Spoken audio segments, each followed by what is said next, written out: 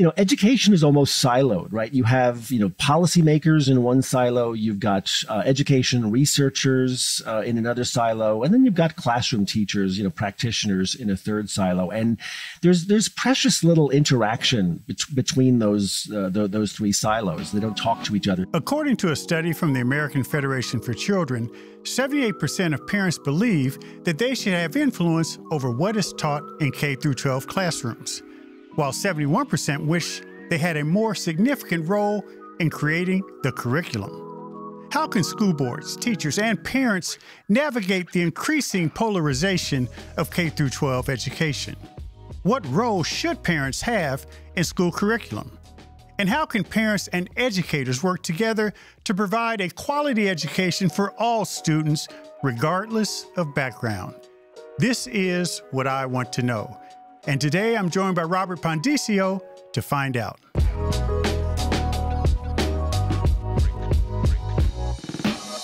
Robert Pondiscio is a senior fellow at the American Enterprise Institute, where he specializes in K 12 education, teaching, curriculum, and school choice. He became interested in education policy after teaching at an underfunded school in the South Bronx. Robert is a former journalist and has published several books, including How the Other Half Learns, Equality, Excellence, and The Battle Over School Choice. Today, he joins us to discuss the role of parents in their children's education inside and outside the classroom. Robert, welcome to the show. Thanks, Kevin. Nice to see you.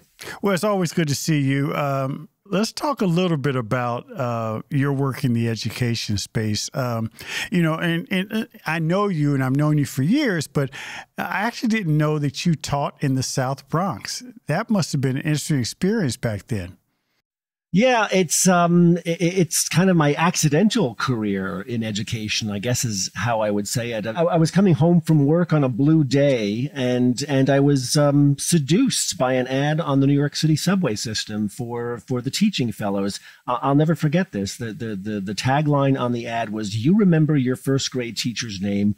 Who will remember yours? Oh wow! I'd just become a dad. Um, I'd written a, a, bunch of books for for young readers about the internet and online services. So everything just kept coming up education, and and as I say, you know, this ad caught me at the wrong moment. I'd been involved in, in the media world for twenty years. I was starting to think, okay, what else should I be doing? And so the idea of of literally, Kevin, a two year mid career public service stint, you know, go teach uh, in in in a in a low performing school for a couple of years is kind of a give back phase of my career. It, it just kind of stuck. I did it, um, and then two years turned into five. Five years turned into a second career. Uh, in education. Now, when you saw that ad, you said you were going or coming from work. Where were you working at the time? Yeah, I was the uh, the communications director for Business Week magazine at the time. I'd, I'd had a, again a twenty year media career. Mm-hmm. I, I, ended up teaching at what was literally uh, the lowest performing school in the lowest performing school district in New York City. So it was you know, it was kind of a trial by fire, but also, you know, a front row seat for, um, you know, how we are educating the, the, the, most disadvantaged kids in the country. And honestly, it made me kind of a literacy guy. I mean, you know, again, I was 40 years old or about to turn 40 when I started teaching. And I, you know, had not set foot in an elementary school since I'd been an elementary school student. So, you know, 20, more than 20 years and and you know I've described this trajectory as as you know going from saying willing suspension of disbelief in other words the way I was being taught to teach reading to struggling readers just did not resemble anything I remembered from my own elementary school education. But I thought well you know okay it's been a while what do I know?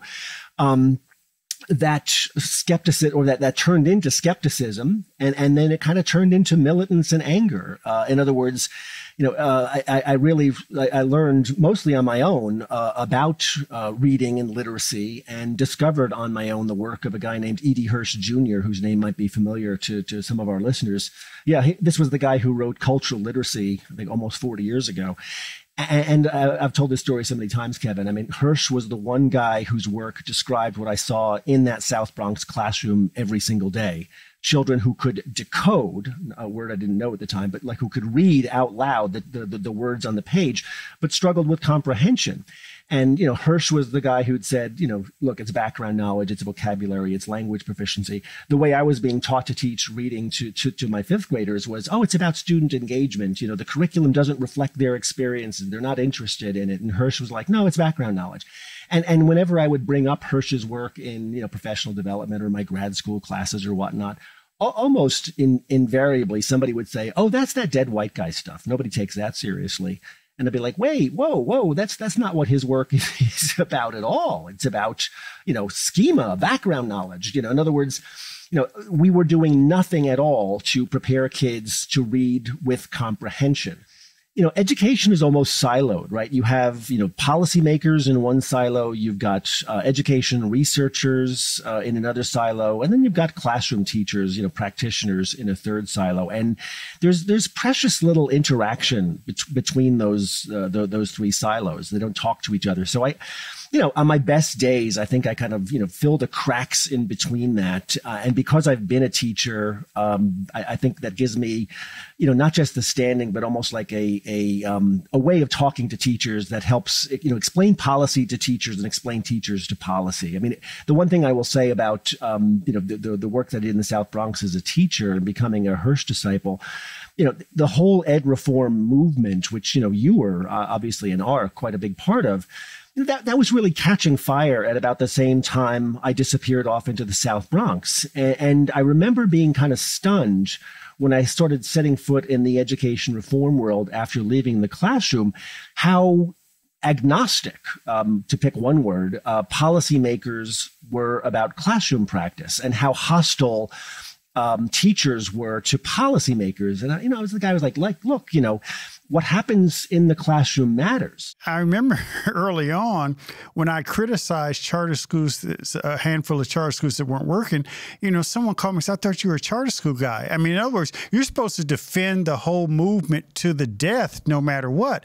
But the real reality is we're supposed to be in this for kids. So, you know, the mechanism to help kids should be always question if it's not helping kids. And and I have seen in your writing and your work your willingness to take on those even allies. And uh, it's not really who which system or which approach is building the best mousetrap, but my goodness, is it does it remain effective throughout? I mean, you hit the nail on the head. You know, there's a tribalism associated with with this. That what if you're a choice or charter guy, you must always be a choice or charter guy. If you're a traditional public school person, you must always be a traditional public school person. And and, and it's as if we cannot um, admit for one moment that there's a downside to the the, the, the policies and practices and whatever that we favor. And, and I find that that lack of nuance um, not just maddening, but a little bit dishonest. Uh, I, I, mean, I, look for what it's worth, and maybe this is my journalism background speaking. You know, you're supposed to give a 360 picture. You're supposed to, you know, um, cover all sides, tell the complete story, and then let intelligent, thoughtful people, you know, decide. Um, but somehow, um, I guess the way to say this is that all of these, uh, uh, all of this work, whether it's practice or policy or or research um, has has really kind of teetered into advocacy in in too many times. And look, I'm a, I'm an unrepentant choice and charter guy. Period. Full stop.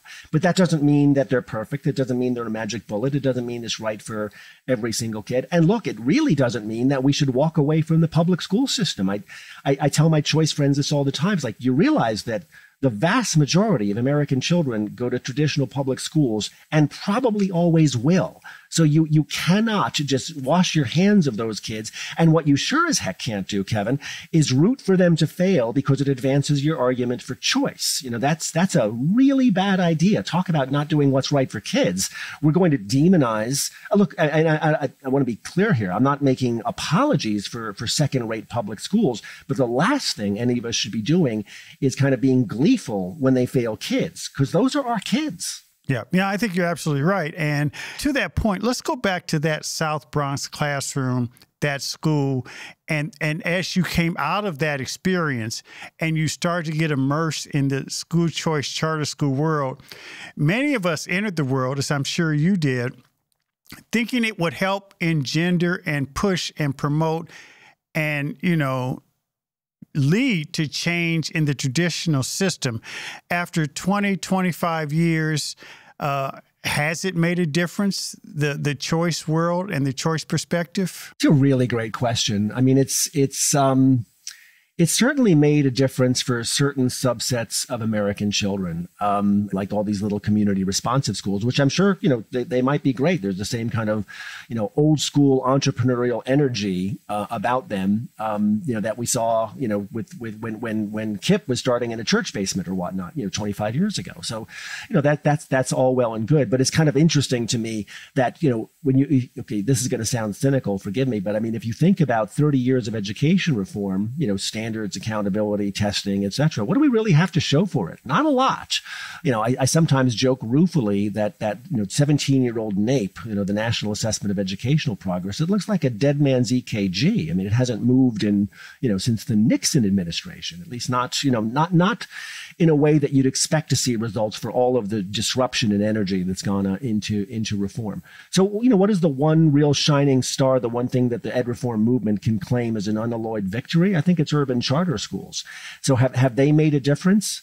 Yeah, you know, they, they have, but but but maybe not as much as as we would we would have liked interestingly, I, I, you know, to, this is a long about long-winded way to answer your question. I, I, almost am tempted to think the jury's still out that the big difference maker has been COVID. In, in other words, if you if you think about what's happened the last couple of years, you've had everybody's education disrupted um, in a way that it hasn't been before. You've had the relationship that the average American has with his or her school in play in a way that it has never been before. And there's a lot of reasons for that. Um, you know, one, just the simple disruption. You expect schools to be there um, you expect them to be open and accessible, and and and kids' lives have been thrown into chaos for the last couple of years. Then you had the phenomenon of Zoom school, where you know I alluded to the black box of the classroom a few moments ago. Well, now that black box was was open on your on your laptop on the kitchen table for for a year, so mom and dad got to see what kids were doing all day, and you know in some instances that was a good reflection on on education, and in some sometimes it was not.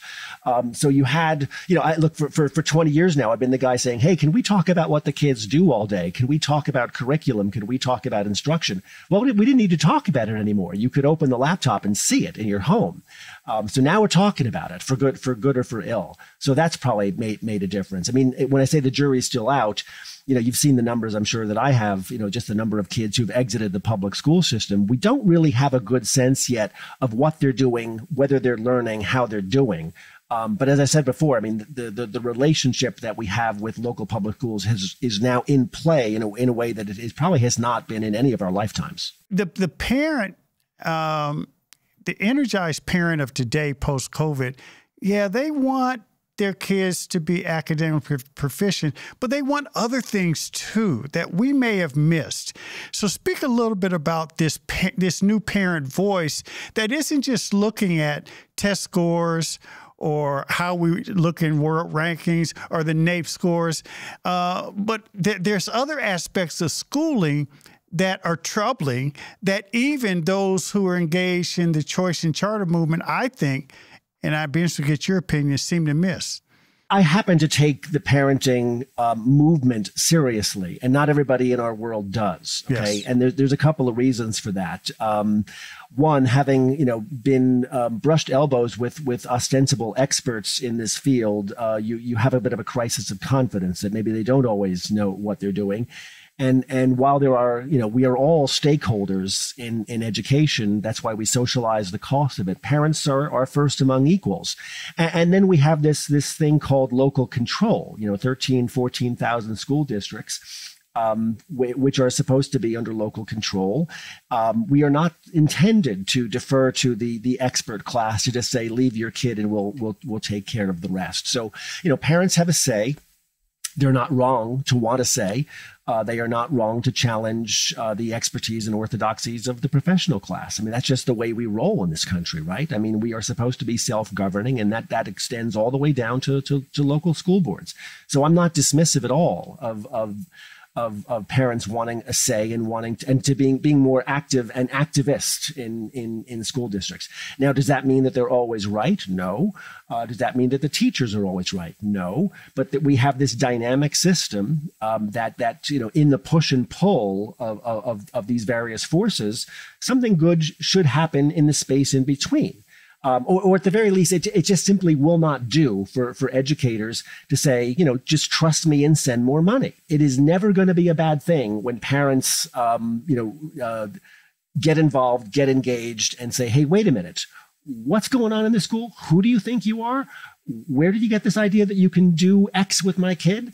Um, you know, I can't say strongly enough. Doesn't mean the opinions are going to be sophisticated, um, but I'm never going to be that guy who says, "Hey, parents, you know, just just sit down and let the pros take care of it." So the real question is uh, how involved should parents be? What is how hands-on should they be? What is what is the the right balance? Because I do think, Robert, that not only do uh, do far too many traditional school districts miss this and are dismissive of parents, but frankly, there are a lot of choice in charter schools that sometimes just barely go, extend beyond using parents as props. So, what is the right balance to make sure uh, parents' voices are heard on behalf of their children, particularly in this political environment? The long story short is, is I think there's a there's a on a, on a good day, maybe a, um, you know miscomprehension between parents and schools, and on a bad day, hostility. Um, and, and, that is not that is not a public school thing. I think that's an education thing. I don't have data in front of me, but I think there is data to show that that teachers at large uh, have fairly low expectations of, of, of parents.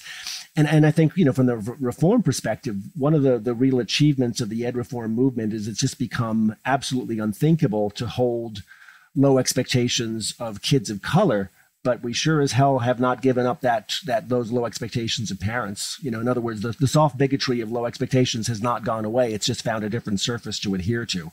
That's an ongoing problem. Yeah. Well, Robert, I have one last question. I really appreciate uh, your time. We could talk forever on this, and, and uh, we may end up having to do that. But this is what I really want to know. Post COVID, in this brave new world, where parents are up in arms. They're very focused. School board folks are on their heels. Administrators, some administrators, both in the charter and the traditional school, uh, public school world, are saying we don't want to change. We're going to go back to the old normal. How can we all figure out the best way to have productive conversations?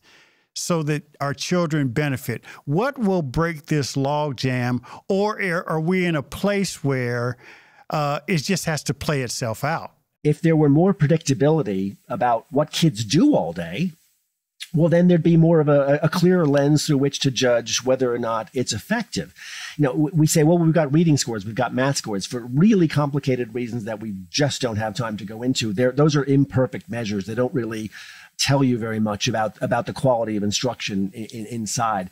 But I mean, I, I, think something good can come of this mo- movement, where where you know all the the, the the the eternal verities of education, you know, are are in play. I mean, it's a bromide. I'm sure you know this. For decades now, people have given low marks to public education in America, but high marks to their child's school and their child's teacher teachers are still among the most um, trusted professions in America, but the actual numbers of Americans who say they trust teachers has dropped a lot. So, so what I described earlier as as being, you know, as, as this relationship as in play. Well, something good could come of that if we keep our heads. In other words, if we have a moment of sobriety here, where we say, okay, what, what do we want kids to get out of out of education in America? What should they what should they be learning? Um, you know what what you know what's ideological, what's not ideological. As a as a slight digression, Kevin, I'll say you know whenever people come you know lament that we have we're having a moment where the culture wars have taken over schools, I kind of chuckle and think, wait a minute, have have you ever been to a school? Do you know what we do here? You know, we, what what we are doing here all day is is is expressing to kids what we what we what we value and what we condemn, the best that has been thought and written and and whatnot. That's culture. I mean, it is literally an institution for transmitting cultural values to children. So it is not a surprise that we're arguing about these things right now. It's a surprise that we haven't been arguing about them until now in the way in which we are. So, you know, that's not going to go away, nor should it go away. But it does, it does call on all of us to have, I think, a slightly more sober, thoughtful, please calm conversation about our expectations of, of, of, American education. Yeah, and this is not just a hopeful statement. I agree with much of what you said. I do think that for all the bloodiness out there post COVID, all the angst we're going through with parents, that at the end of the day, this is the dark before the light. I really believe that uh, there will be a settling out period where we will focus on what children need as opposed to what systems need to do better. Robert Pondiscio, thank you so much for all you do, and thank you for joining us on What I Want to Know. Thanks, Kevin. I really enjoyed it. Let's do it again.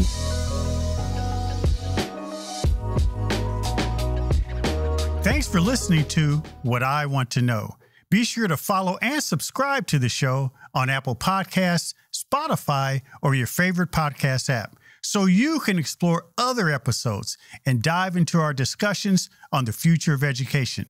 And write a review of the show. I also encourage you to join the conversation and let me know what you want to know using hashtag WIWTK on social media. That's hashtag WIWTK. For more information on Stride and online education, visit stridelearning.com. I'm your host, Kevin P. Chavous. Thank you for joining What I Want to Know.